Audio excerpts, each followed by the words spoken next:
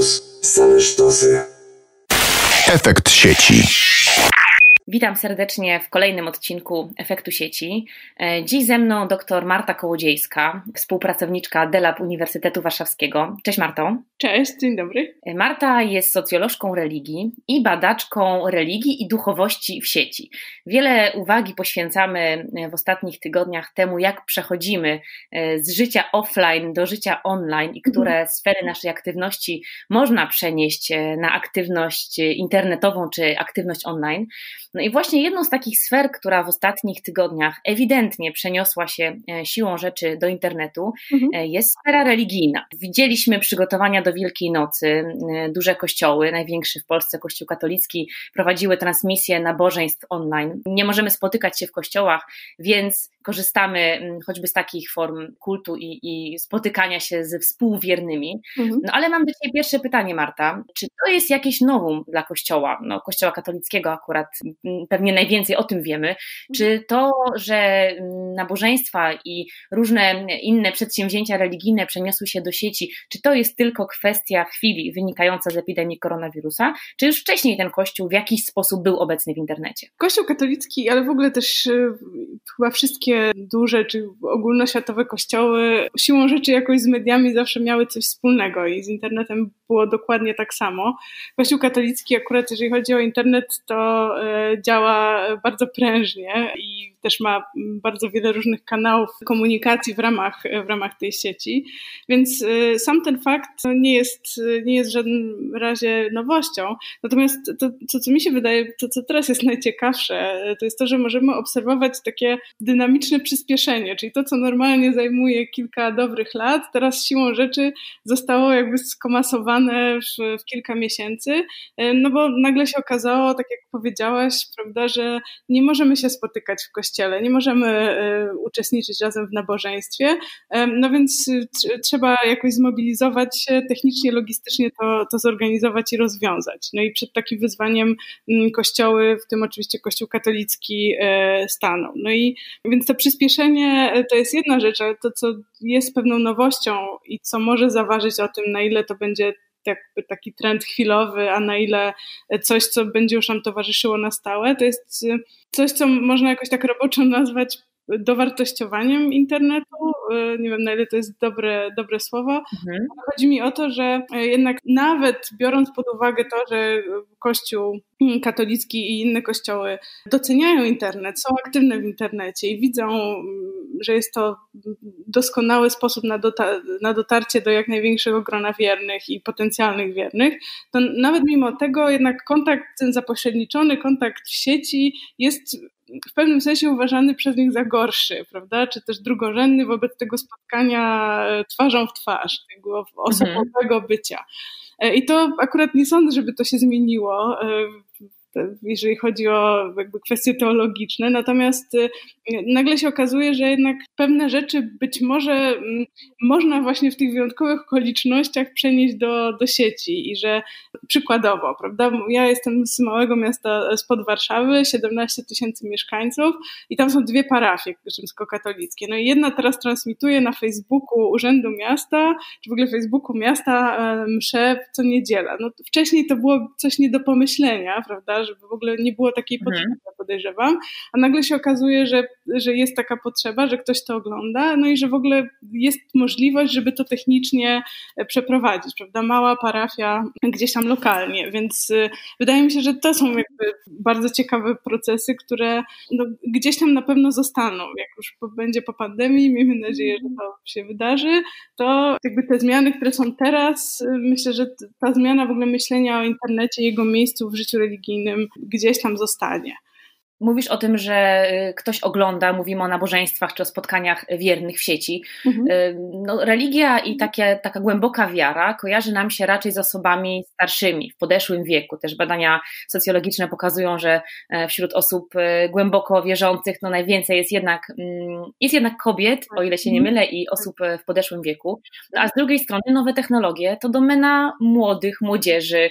Tutaj najwięcej jest internautów, prawie, prawie 100% jest poziom digitalizacji digitalizacji osób najmłodszych. Mhm. No I jak tutaj się spotkać? To znaczy, do kogo w takim razie kierowane są te treści kościoła elektronicznego, czy też kościoła transmitowanego zdalnie? I czy to faktycznie najmłodsi odbiorcy z dużych miast, jak można byłoby sądzić, są beneficjentami tych treści? To znaczy, jeżeli chodzi o taką demografię użytkowników y, religijnych serwisów, no to niestety danych mamy dość niewiele, przynajmniej jeżeli chodzi o Polskę. I ja opracowywałam w Cebosie w latach 2014-2016 takie badania właśnie użytkowników um, stron internetowych religijnych w Polsce. No to oczywiście były głównie strony katolickie, no ale z tych badań wynikało, że tak naprawdę użytkownikami religijnych serwisów są przede wszystkim osoby po 40 roku życia. Mm, więc tak jakby to nie jest już młodzież, niestety. Mhm. Więc, więc to jest jedna kwestia kwestia, tak? I trudno mi jakby tutaj się zgodzić z tym, prawda, że ten internet jest, że tak powiem, domeną młodych, no bo mamy przynajmniej w tej kwestii religijnej do wyboru właściwie rozmaite formy komunikacji, czyli możemy sobie wejść na stronę parafii, prawda, możemy wejść na stronę e, episkopatu, możemy wejść też na Facebooka, na grupę jakąś naszą lokalną, czy nie wiem, prawda, jakąś neokatechumenalną. Mamy do wyboru kanały na YouTubie, no właśnie wcześniej rozmawiałyśmy o Languście na Palmie, prawda, ksiądz Szóstak, który jest królem YouTuba i to wszystko są religijne strony, których oferta jest adresowana do e, różnych grup. Są też jeszcze aplikacje do czytania Biblii, do modlitw, do medytacji. No tutaj każdy coś dla siebie na pewno znajdzie. Są też na przykład takie gry, czy właśnie to trudno mówić, że jest to gra, ale jest coś takiego jak Brick Testament, e, który jest pismem świętym przełożonym na Lego. To są po prostu obrazki, gdzie w postaci z Lego robią te rzeczy, które są opisywane w Biblii, więc wydaje mi się, że akurat tutaj każdy coś dla siebie znajdzie. E, natomiast e, jeżeli chodzi o Polskę, to tutaj właściwie przez chyba we wszystkich tych edycjach tego badania wynikało dość jasno, że jednak te wybory religijnych internautów, takich nazwijmy robocze, są raczej takie konserwatywne, w tym sensie, że interesowały ich na przykład strony instytucji, parafii, ale też mhm. wyszukiwanie jakichś konkretnych haseł, zapytań, prawda? To nie była na przykład rozmowa z innymi użytkownikami czy współ, współwyznawcami. Nikt nie wspominał o Instagramie parafii, chociaż oczywiście takie, takie konta też są. Więc to pokazuje, że jednak tutaj wielu osobom zależy na takim po prostu otrzymaniu informacji z wiarygodnego źródła, które nie trzeba na przykład kwestionować, sprawdzać, to nie wymaga jakiejś takiej dyskusji, prawda? Coś, tylko jest wiadomo, kto nadaje i wiadomo, że to jest jakoś zalegitymizowane. Portal e, facebookowy i kanał e, Ojca Szóstaka 250 tysięcy followersów, Langusta na Palmie na YouTubie ponad 630 tysięcy mm. followersów, Także mówimy o naprawdę dużych liczbach. E, słyszałam też o tym, że w 2019 roku ruszył katolicki Netflix. Tak, portal. ale przepraszam, to jest drugi katolicki Netflix, bo pierwszym oryginalnym był, była strona dominikanie.pl. E, która. E, Mniej ma... zinstytucjonalizowana e, w mediach pewnie powszechnych, ale też pewnie dla osób, które są zainteresowane, bardzo dobrze znana. No ale mam jeszcze inne pytanie, bo mówisz tutaj o różnych treściach, które, które można znaleźć w sieci, których tak. szukamy w sieci jako wierzący mniej lub bardziej, bo przecież to nie tylko osoby wierzące wchodzą na te portale i na te strony. Tak, tak. Natomiast no, była głośna dyskusja na temat takiej komplementarnej, czy też wręcz subsydiarnej roli nowych technologii dla przyjmowania sakramentów świętych. No, mhm. pojawiła się kilka lat temu aplikacja Confession, która Oczywiście miała służyć temu, żeby przynajmniej zgodnie z tym, co autorzy deklarowali, żeby przygotować się do spowiedzi, do sakramentu spowiedzi, takiego w tradycyjnej formie, żeby zebrać rachunek sumienia e, mhm. właśnie za pomocą aplikacji. Natomiast tutaj, jeśli dobrze znalazłam, w 2013 roku odbyło mhm. się spotkanie przedstawicieli Kościoła na temat roli mediów e, komunikacyjnych w religii i tam zdaje się podtrzymano stanowisko sprzed lat, e, że nie ma i nie będzie e, żadnych sakramentów w internecie. Mhm. Czy to oznacza, że, mm, że te wszystkie aplikacje i strony, o których mówisz, to jest tylko dodatkowe źródło przynależności czy budowania swojej tożsamości religijnej? Czy są jakieś jaskółki, które mówiłyby o tym, że być może zmieni się też rola tych treści i być może właśnie tam będą możliwe sakramenty, czy, e, czy korzystanie z takich bardziej zaawansowanych kwestii religijnych i związanych z duchowością? Tutaj to ciężko mi się wypowiadać, nie jestem rzecznikiem kościoła. Natomiast kiedyś brałam udział w takiej dyskusji, w której ktoś żartował, że od tej aplikacji e, krok nas tylko dzieli do takiego konfesjonału robota z, ze śpiocha Woody'ego Allena. E, natomiast no, z tego co wiem, do wczoraj prawda, Kościół katolicki akurat nie zmieniał swojego stanowiska i wciąż sakramenty przez sieć nie są możliwe. Natomiast mhm. E, w innych kościołach no, obserwujemy jakieś, jakieś zmiany. Wiadomo, że to, to zależy też od kwestii teologicznych. Ja tutaj nie jestem ekspertem od, od teologii, natomiast e, na przykład ostatnio krążyła taka informacja, że w kościele prezbiteriańskim w Stanach Zjednoczonych e, dopuszczono możliwość Eucharystii online na czas pandemii. Z kolei w jakimś innym kościele protestanckim była ostatnio taka, to chyba nawet CNN o tym pisało, że były namaszczenie, czy ostatnie namaszczenie przez FaceTime, prawda? Ktoś jakiś pastor prowadził. Czy też na przykład pogrzeby muzułmańskie, które są transmitowane na, na Skype'ie, bo w tradycji y, powinno tam być dużo osób, ta rozszerzona rodzina, teraz jest to oczywiście niemożliwe, no więc trzeba znaleźć jakiś sposób, żeby bliscy czy dalsi krewni mogli też w tym mm, pogrzebie uczestniczyć. Więc wydaje mi się, że tutaj bardzo różnie jest to rozgrywane w, w różnych kościołach i myślę, że ta sytuacja, którą mamy teraz, no, prowokuje do mniejszych lub większych zmian. Natomiast zawsze trzeba o tym pamiętać, że takie duże kościoły międzynarodowe jednak te zmiany przyjmują dość wolno, tak? Czyli można powiedzieć kolokwialnie są trochę o krok do tyłu, jeżeli chodzi o adopcję tych nowych trendów, czy technologicznych, czy związanych z mediami. Więc tutaj jakiejś właśnie szybkiej, szybkiej reakcji bym się nie spodziewała. Natomiast tak jak mówiłam wcześniej, no, na pewno jakieś dowartościowanie kontaktów przez internet nastąpi. Może ono będzie miało jakiś e, wpływ na to, co się dzieje później. Natomiast właśnie te um, inne kościoły, że tak powiem, czyli na przykład kościoły mniejszościowe, tutaj no, mogą być postrzegane jako takie właśnie bardziej, e, bardziej sprawne, bardziej szybciej adaptujące po prostu te zmiany i szybciej je wdrażające. No, szybciej te zmiany adaptują sami użytkownicy, którzy tak. przerzucają się na, na kontakt zdalny czy na, na zdalne uczestnictwo w modlitwach i nabożeństwach. Niedawno internet obiegały zdjęcia takich ołtarzyków domowych, takiej mm -hmm. ludowej obrzędowości, można powiedzieć, którą ludzie przygotowują w swoich domach, e, żeby tak. przygotować się na uczestnictwo w mszy świętej. E, no jest to też pewnie ciekawy trend i pewnie, mam nadzieję, powstaną badania na temat właśnie tej takiej oddolnej e, duchowości, mm -hmm. która gdzieś w sieci pewnie stymulowana, ale powstaje w naszych domach.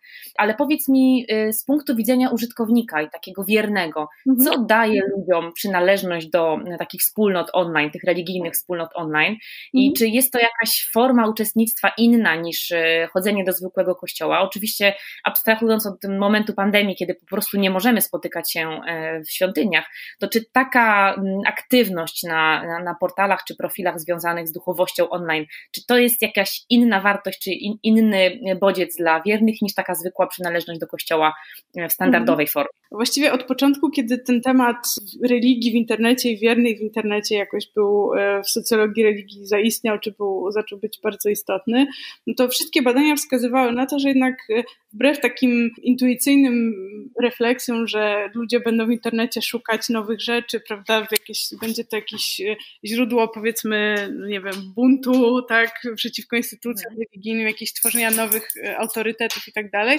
że tak naprawdę to się na masową skalę nie dzieje i jednak internet służy zwłaszcza osobom religijnym do tego, żeby raczej się umacniać w swoich przekonaniach, poszerzać wiedzę, którą już mają, jakoś właśnie się łączyć z tą wspólnotą, w której już są, raczej niż szukać jakichś nowości, prawda, czy e, alternatyw.